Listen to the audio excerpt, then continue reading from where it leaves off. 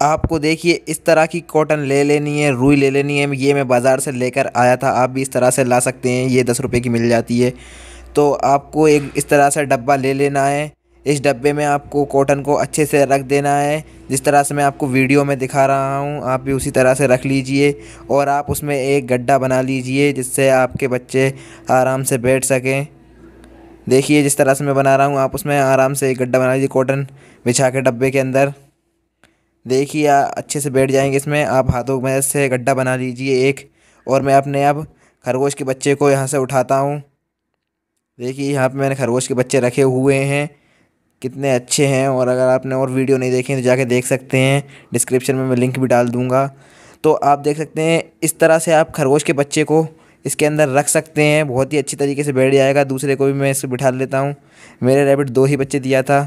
देखिए दोनों को मैंने अच्छे से बिठा लिया है और ये दोनों बैठ गए हैं। अब आपको क्या करना है? और थोड़ी सी कॉटन लेना है। कॉटन को इनके ऊपर ढक देना है जिससे इन्हें सर्दी ना लगे, क्योंकि इनके अभी बाल नहीं आए हैं। तो कॉटन को अच्छी तरह से ढक दीजिए और ये अच्छे से बैठ जाएँगे।